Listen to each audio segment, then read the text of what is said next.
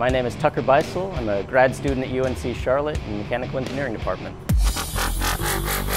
There are all sorts of cool toys in this lab that let you build basically anything you want to do. We've got a plasma table so you can cut out anything specific that you need. I've made frames out of all the metal parts in here. I didn't really know anything about cars, but then I came here and I got to learn a little bit of everything. We've done a lot of research here into how to make cars better in the sense of more aerodynamic, uh, less wear on tires. None of this feels like school. It's basically just you get to go around and figure out what's interesting and then go and do it.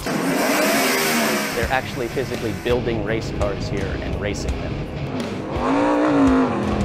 This is just an experience that I didn't think would be available to me. I never thought I would want to do graduate school. That sounded like a whole bunch of academic papers and other stuff, but no, here you get to have a huge chest of fun toys and then build things out of them.